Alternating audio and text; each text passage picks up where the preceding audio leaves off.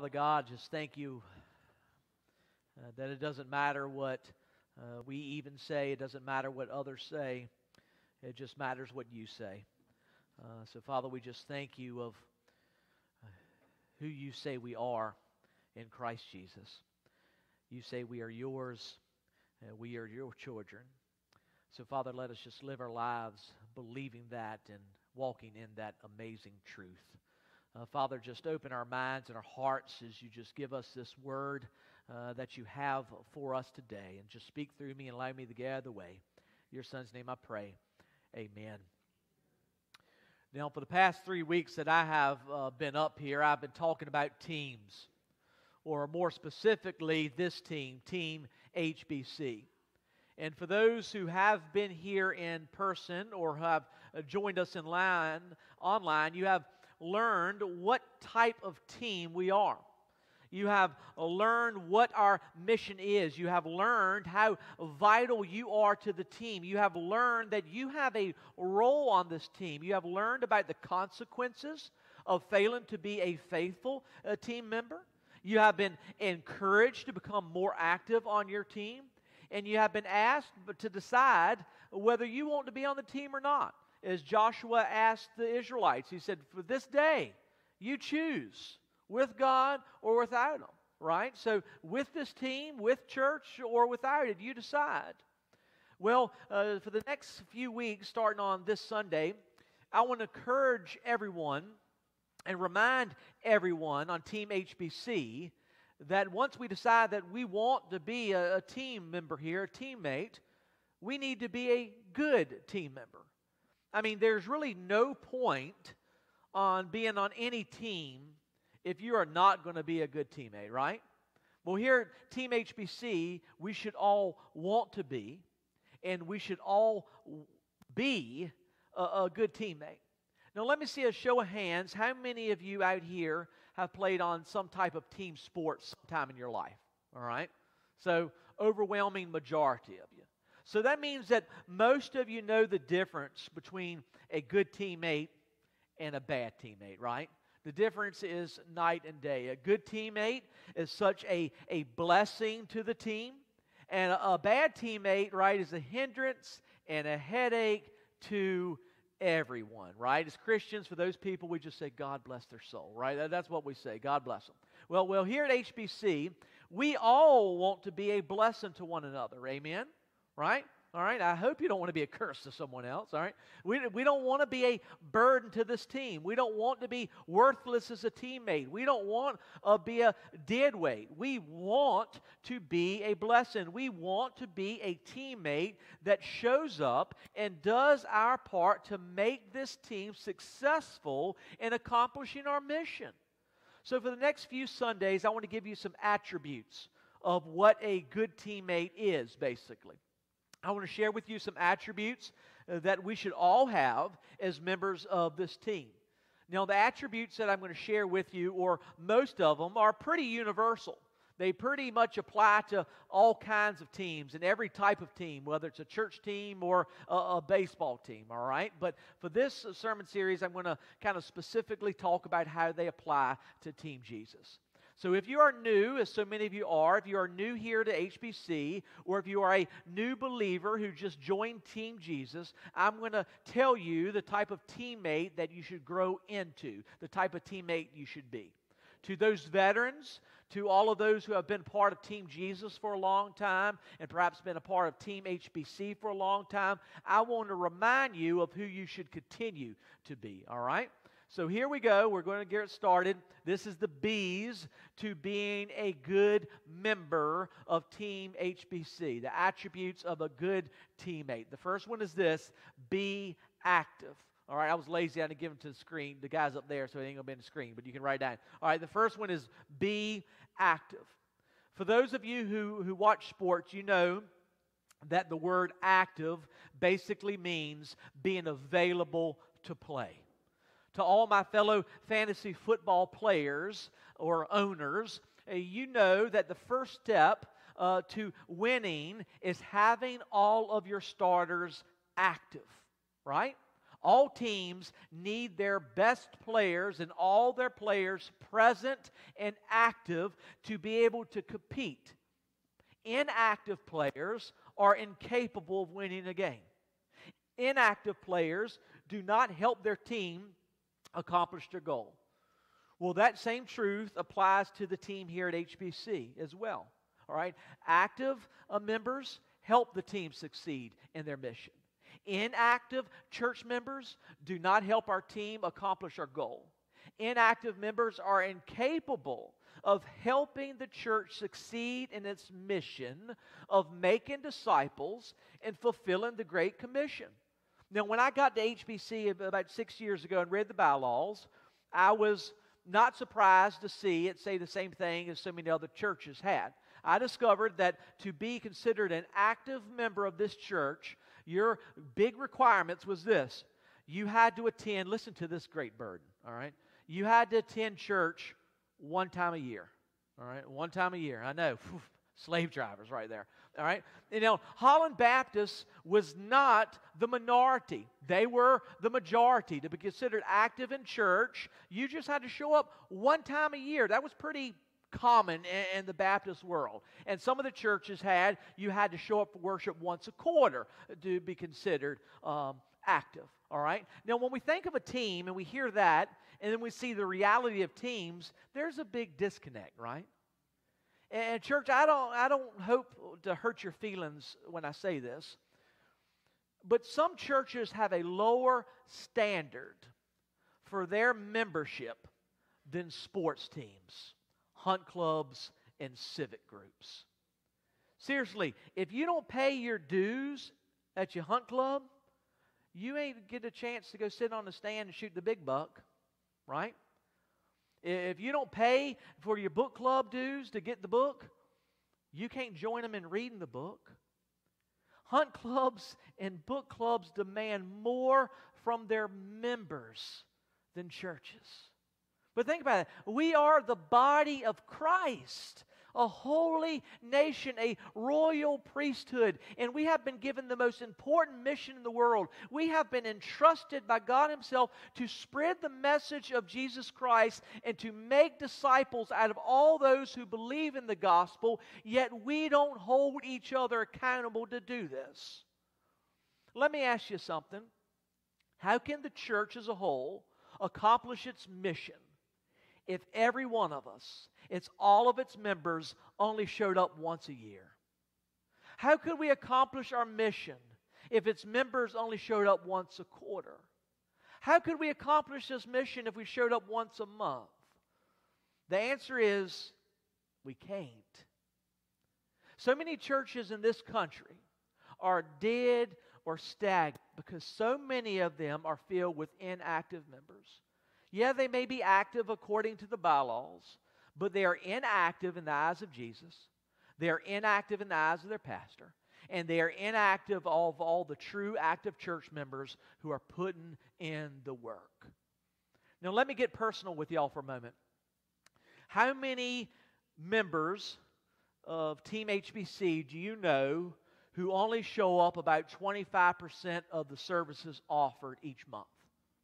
All right? We all know a lot of those.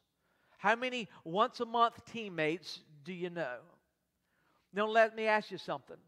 We got so many new folks to this church, all right? Do you know those once a month teammates as well as you know the others in the church who are more visibly present and engaged in the life of this church?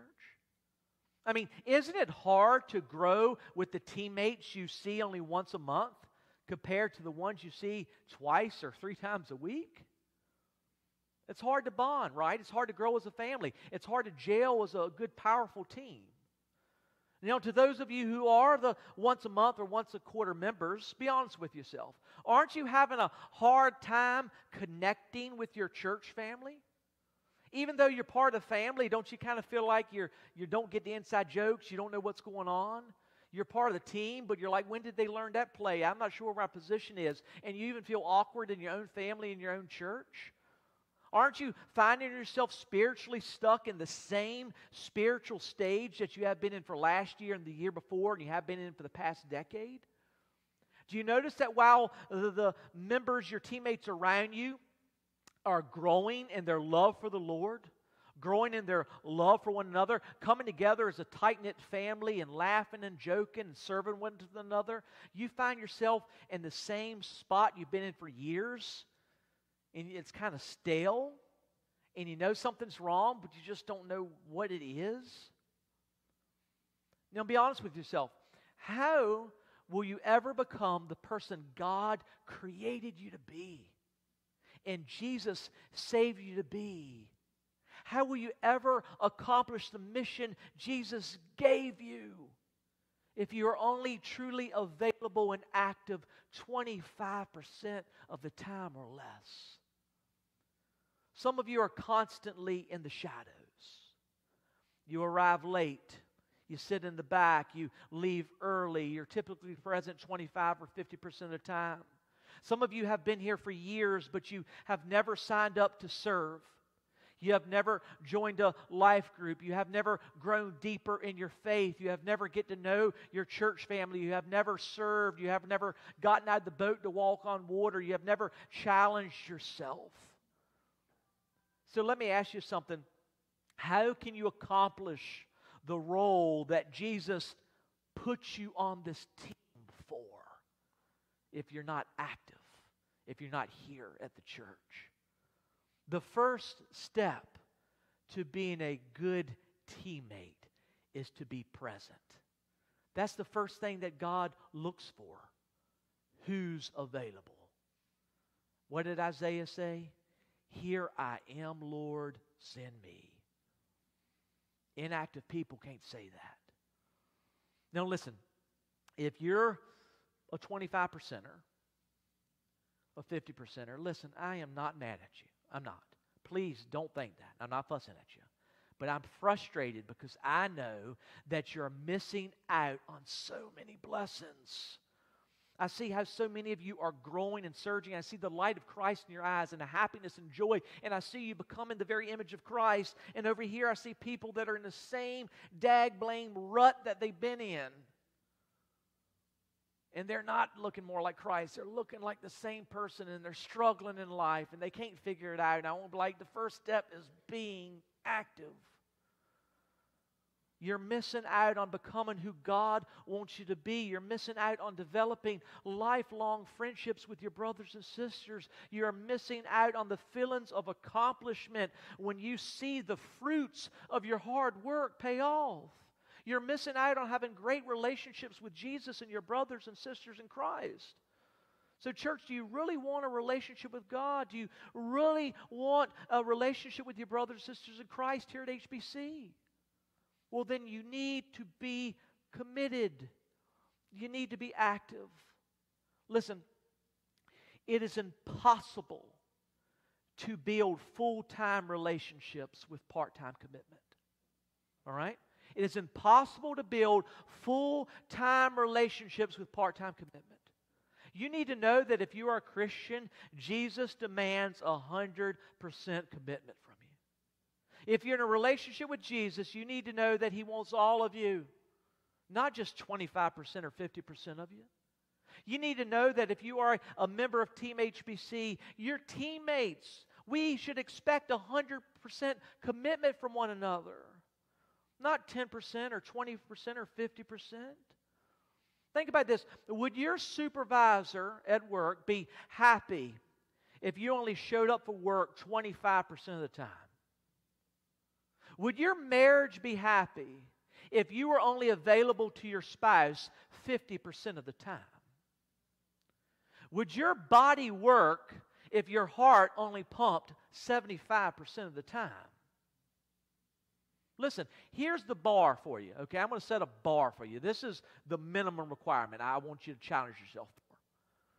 I'm asking that you be as committed to this church at least as much as you are to your bowling team or your softball team or your scrapbooking team or your hunt club or your video game team or your exercise team or your neighborhood walking group. All right? Be as active as part of the body of Christ at least with that and then start going up. I find it incredibly sad that some Christians are more committed and active in recreational teams than they are the very body of Christ that they were created to be a part of. I'm incredibly sad that over the years that the churches, instead of seeing this and challenging folks, they have just lowered their standards. They have lowered their expectations of its membership. When did it become that we expect so little from one another? This church, which has been entrusted with the most important mission in the world, an urgent life or death mission, a mission of eternal consequence, heaven and hell, is filled with inactive members who are not even faithful in attending team meetings, much less accomplishing the mission. And generally, church speaking, the church and its pastors just accept this as the way it is. In fact, most pastors are too scared to hold their congregation accountable. They're scared to challenge them and call them out on their absence. But I don't get it. Why are you scared to call out a people who's coming 0% of the time? They can't come less than 0%. Okay, I won't come in at all, Pastor, but now I'm not coming in, I'm pissed off. Okay? I won't see you here to be angry at me, that's fine. At least you're thinking of me some way, right? You can't be scared of losing people that's already lost. We need to pray for them. If we encourage those inactive members, if we rebuke them, then maybe they will listen to the Holy Spirit and come back to church. Listen, I encourage each of you to reach out to those inactive members and to stir them up. It is good to stir the pot. You know what? If you don't stir, everything settles down. So it's good to invite them to church. It's good to tell them that you miss them. It's good to kind of rebuke them in love, so stir the pot. In fact, the writer of Hebrews tells us to do that in Hebrews 10, 14, and 20, uh, uh, 24 through 25. Excuse me. Listen. It says, Let us consider how to stir up one another to love and good works. How do you do good works if you're not here? It goes, let us consider how to stir up one another to love and good works, not neglecting to meet together, as is the habit of some, but encouraging one another, and all the more as you see the day drawing near. Stir one another up, all right? I'm going to be honest, I, I kind of turned up the heat after about a six months or a year of miss you, hope it's okay, I understand we're all busy in life. If that's eventually not working, maybe you need to give them the hey, you're not living up to who you saved you're, you're, you're not living up to the standard God said. You're not being who you claim to be. I see no uh, fruit in your life. All right? If you give them a, a, a whole year of niceness and sweetness and it doesn't change their heart, give them the truth. Tell them. Just, just tell them. Tell them in love, but tell them. Because I would rather they be mad at me and repent and come back and see me in heaven for eternity than think they're saved and be in hell. Stir one another up. Remind one another to do our job. Remind one another that we need to do good works. Remind one another that we need to be good teammates. Remind one another to be active. Let's remind one another not to neglect coming to church. Now, listen, a lot of times pastors and churches would rather have bad teammates than no teammates. Look at them, the biggest churches out there with filled up with people are the ones that do not hold their membership accountable to anything. They're the ones that say, Jesus loves you where you are. Yeah, you can stay there. I'm not challenging you. You're not accountable. Don't worry about your sins. Just put $20 in a plate and hear this awesome music and feel happy about yourself. Right? So, a lot of times, especially in America, churches would rather have a, a, a room full of bad teammates than just a few disciples. But we need to be like Jesus. You see, Jesus has a higher standard. Jesus would rather you be off the team than remain on the team as a bad teammate. In Revelation chapter 3, we read where Jesus vomits out lukewarm, inactive, uncommitted Christians. It was on a team called Team Laodicea, which was a church in Asia. Listen to Jesus. He says, I know your works, that you are neither cold nor hot. I would wish you were hot or cold. So then, because you are lukewarm and neither cold nor hot, I will vomit you out of my mouth. Church, if you're hot for Jesus, if you're on fire for Jesus, you will come to church. You will be active. The first step to being a good teammate, a good church member, a good and faithful disciple is simply to be here. You need to be present. You need to be active. It all starts right there, showing up. Right? The second attribute of a good church member is this you need to be coachable. Be coachable. If a player on any team is uncoachable or unteachable, they're absolutely worthless as a teammate. Worthless, right? Pastor Josh coached a lot of basketball. He won a state championship. He will tell you he'd rather take that okay player that will do anything and everything he asks and with all of his ability than take that pretty good player that won't listen worth a lick. Right? Now, and I know in the sports world, sometimes an athlete's physical talent is so great that they can still be a great player and have a successful career, even though they're not coachable and a horrible teammate, right? Let's face it, LeBron James could be the worst person in uh, America. Don't listen. Each time the coach talk, go blah, blah, blah, blah, and you know just don't listen. Don't mean to his teammates, kick him in the shins every practice. But he's still going to have a great career. He's still going to be awesome. Okay, so sometimes on a physical team, that superstardom, athletic ability you still have great even though you're not coachable. That is never the case on Team Jesus. It is impossible to be a disciple, to be a healthy member on Team HBC, and not be coachable and teachable. In fact, listen to this the word disciple, which we are, we're disciples, comes from the Greek word that means, get this, one who engages in learning through the instruction from another. So, in other words, a disciple is someone who is coachable. A disciple is a learner. A disciple is a learner of Christ. Jesus is the teacher and they are the student. Jesus is the coach and they are the player. A disciple is someone who is coachable. So, as disciples of Jesus, all members of Team HBC should desire to learn. We should all have a teachable and coachable spirit. Unfortunately, many people are unwilling to be taught anything. They're unwilling to listen. They are not coachable. And because of that, because they have ears that refuse to hear and hearts that refuse to believe, they remain perpetually on this very shallow spiritual level and they never progress in a greater knowledge of God.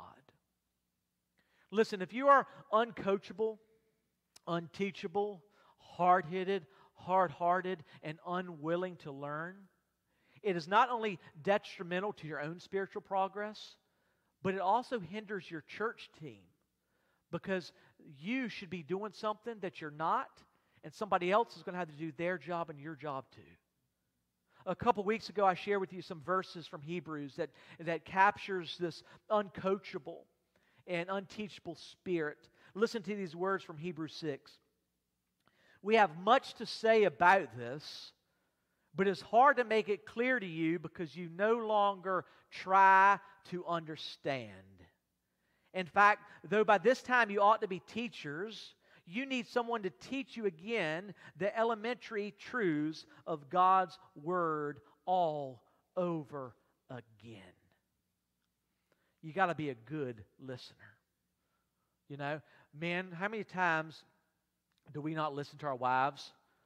and then we realize it's something important, so we ask them to repeat it, and then they repeat it, and yet somehow when we actually ask them to repeat it, we still find ourselves drifting the thought and don't hear them the second time either. And then they start to really get mad with us and not want to say it a third time, but they know out of necessity they have to. Or is that just me? Okay, I, am talking about yesterday, uh, me and my wife. But anyway, so uh, we need to be a good listener, right? And, and Sid, my wife has to tell me the elementary things again for the hundredth time. She's like, I told you this three days ago, two days ago, yesterday, and three times today, right? If I was coachable, she wouldn't have to tell me. But instead, she has to take me through kindergarten every day again, right? And that's how some church folks are, right? I'm like, you should be teaching Sunday school. Why do I got to tell you Jesus died on the cross? Right? You've been coming for 45 years to church. Yes, Jesus died on the cross. We should now be on to deeper things. You should be telling other people about it. If you want to be a, a good team member, then you need to be a good listener. You need to be a good learner. You need to be teachable and coachable so that you can grow to be like Jesus in every way. I want you to turn with me in your Bibles to Ephesians chapter 4. 11 through 15. Now, I'm not having on the screen. I didn't have it on the board either. I'm just kind of threw this together last second. All right?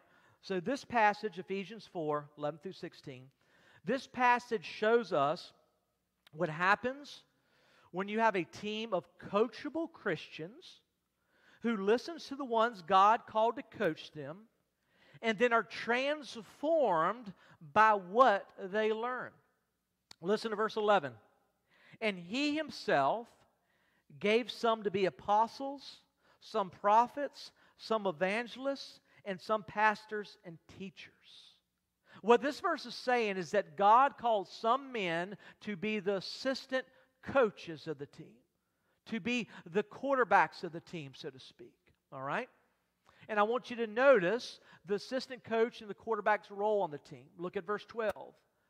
For the equipping of the saints for the work of ministry, for the edifying of the body of Christ.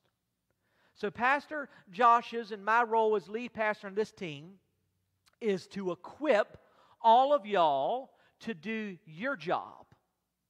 Our job is to equip all of you to do the work of the ministry. We are to edify or strengthen and build up this team.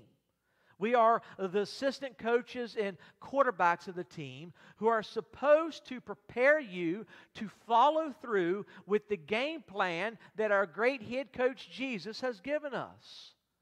And what is this goal for this coaching and this teaching and this training that we give you?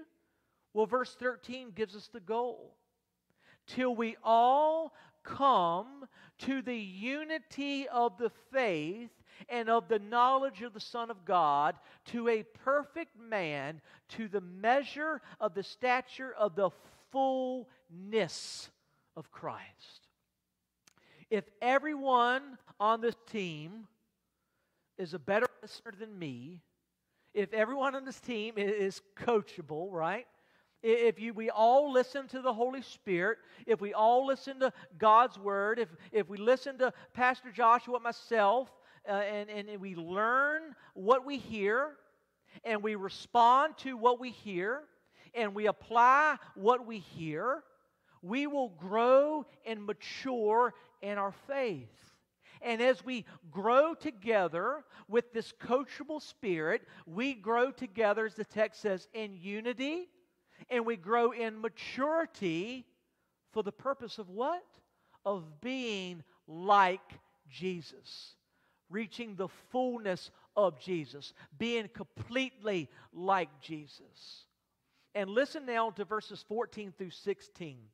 You will see what happens to a coachable team as it does this, as it listens, as it is teachable, as it comes together and starts to grow in Christ. Listen, that we should no longer be children tossed to and fro and carried about with every wind of doctrine by the trickery of men and the cunning craftiness of deceitful plotting, but speaking the truth in love, may grow up in all things into him who is the head, Christ, from whom the whole body, joined and knit together by what every joint supplies, according to the effective working by which every part does its share, causes growth of the body for the edifying of itself in love.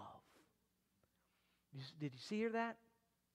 When we are coachable, we will grow and look more and more like Jesus.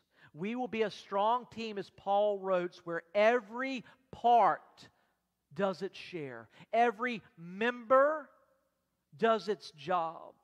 And when everyone is coachable, and when everyone is growing, and when everyone is doing their part, look at what happens. It says the church grows. The verse I just read says causes growth of the body. All right? If you want this church to grow how Jesus wants, and I'm not just saying entertain people and just get uh, butts and seats, I'm talking about growing as true disciples of Jesus Christ and making disciples. The key to growing the church the biblical way is the congregation who is fully trained and equipped and coachable grow together, and as they do their job, as y'all do your job, guess what? The church grows. That's the truth to church growth is to be coachable and do your part. So you need to know that as part of Team HBC, we are disciples and we should be constantly learning and growing in grace. And we are to continue to grow until we reach the completeness, the fullness of Christ. And we get there by being coachable as disciples, as students of Jesus who want to become more like Jesus, we need to understand that the only way to be like Jesus and to become like Jesus is to be coachable.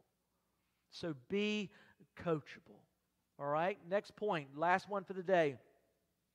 Need to be usable. Number three, be usable. So far, I told you you need to be active, right? Being active means you just need to come to church. You need to be here. You need to be present.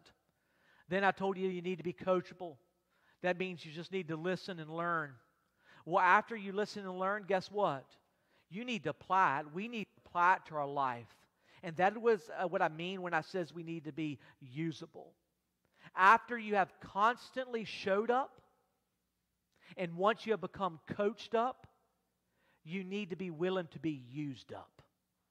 All right? After you have constantly showed up, and you have become completely coached up, you need to be willing to be used up. Let me give you a scenario to think about. Picture a football player. Let's name him, hmm, Christian, all right? Now, Christian is starting his first year with the team. He has been chosen by the coach to be the team's running back. He has trained all season in the weight room.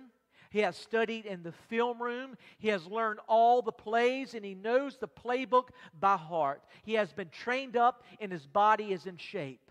When spring training arrived, he hit that field hard every day, doing every drill and practicing hard with his teammates. As preseason ends, Christian finds himself coached up and fully trained and equipped for the season to begin. Well, after all this work, the first game of the season finally comes around. It's finally time to hit the field. After that coin toss by the referee, Christian's team finds themselves with the ball first. So all the offensive players hit the field. But when they got out there, the coach realized they were missing a running back. Christian wasn't out there. The coach looked around wondering where his running back was, and he saw Christian sitting on the sideline on the bench. So the coach calls out, Hey, Christian, it's game time, baby. Uh, get on the field, do your job. Christian calls back, Sorry, coach, I'm just not feeling like playing today. After the game, an argument, Christian apologizes. He apologized to the coach. And then he shows up each and every day and has a great week of practice. He's there every day. He's always present, he's always active. He studies the playbook diligently. He enjoys running drills with his teammates. Well, game day rolls around. Everyone on offense hits the field except for Christian. The coach, seeing Christian on the sideline once again, says, Man, what's your problem? Get in the game. He says, Nah, not today, coach. The pattern keeps going on each and every week. Christian's always there, he's always present, he's active on the team, he practices, he genuinely seems to love his teammates, he knows the playbook. He seems to be coachable. He's agreeable with the coach. He listens in practice. He obeys. Yet each and every week, when it comes to actually play and do the mission and fulfill his purpose, he sits on the bench and refuses to play the game. So after several weeks of this, of Christian refusing to get in the game, the coach finally calls him into his office on a Monday and says, Christian, you know I love you. I handpicked you. I chose you to be on this team. And I've given you everything you need to exceed in the game of football. You have all the ingredients. But it's with sadness in my heart that I have to tell you that you're not a true part of this team. It's time for you to pack up, stop playing, and just go home. But before you leave, before you leave my presence and this team, I want you to know how disappointed I am. How could you say to me, Coach, coach, yet never do anything I commanded you to do? You see, Christian, I gave you everything. I, I gave you everything. And all I asked in return was for you to give your everything. All I asked for was for you to just play and get in there.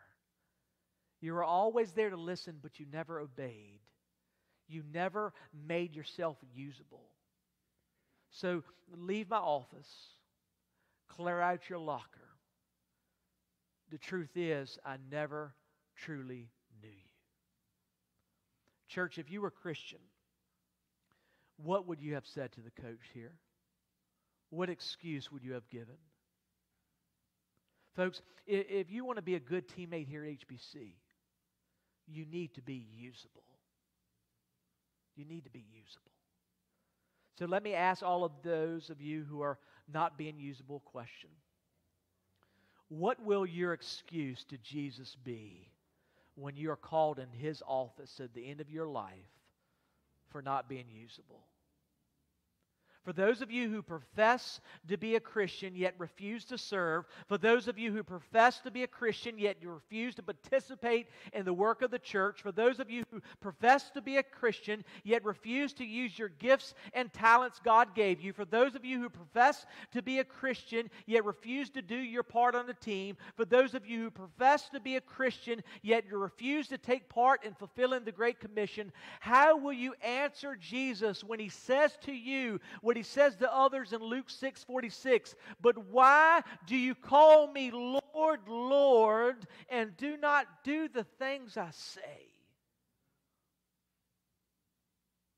And then you will hear him say, Depart from me, you who practice lawlessness. I never, never, never knew you. Listen, a disciple of Jesus will be usable to Jesus. A disciple of Jesus will be usable at church. A good team member at Team HBC will be usable. So I love it when you show up and just sit there and worship. I love having people to preach to. It's just not the same with empty pews, right? So I, I do love it when you come and sit, but just don't stay sitting forever. Do something with what you learn. Don't just listen to God's word and do nothing with it. If you want to be a faithful follower of Jesus, you need to be involved in the life of the church and strive to become a useful member. Look for opportunities to serve in ministry and look for opportunities to serve your fellow members. You need to get in the game. You need to get off the sidelines and get to work. We have so many wonderful mem- uh, ministries here at HBC. There's so many ways we can serve, so make yourself usable. You were created by God, saved by Jesus, empowered by the Holy Spirit to be a useful part of the body of Christ. You were created to be a good and useful teammate. As Ephesians 2:10 reminds us, it says, "For we are his workmanship, created in Christ Jesus for good works, which God prepared beforehand that we should walk in them. Church, God created you, saved you, and drafted you to Team HBC so that you could be used by Him in a mighty way. So let God use you. God has gifted you with so many talents and skills for you to use to advance His kingdom and succeed in the mission He gave you. So let me get real with you one more time today. Be honest with yourself. Are you here to be used by God, or are you here because you think you can use Him? Right? Do you come to church to make yourself usable to the church? Or do you come because the church seems usable to you right now in your life? Are you here to do your part and advance the kingdom? Or are you here with the hope that the church will serve your interest in your kingdom? Church, do you want to be used by God to change your community? Do you want to be used by God to change this world? Then all you have to do is be usable. Now, church, as the band comes up here, I just want to wrap things up this morning by asking you a question. Do you truly want to be a good team member here in HBC? Do you truly want to make Jesus happy? Do you want him to say at the end of your life, Well done, good and faithful servant. Well, you need to be active, you need to be coachable, and you need to be usable. Listen, I'm going to tell you some good news. This made me happy. Listen, you don't have to be smart. You don't have to be rich. You don't have to be healthy. You don't have to be talented. You don't have to be successful. You don't have to be strong. You don't have to be good looking to be a good team member. You don't need none of those things. But you do have to have good attendance. You have to be a good listener. And you have to be a good worker. And isn't that something that we all can do? We can all show up. We can all listen. We can all do the best we can. I'm not saying you need to do the best of all time. You do the best with what you got. At the end of the day, a good teammate is someone who simply shows up, gets coached up, and then wants to be used up. That's it. Let me get that again. The whole thing is this you want to be a good church member? It's someone who simply shows up, gets coached up, and then wants to be used up. I pray that all of us will be good teammates.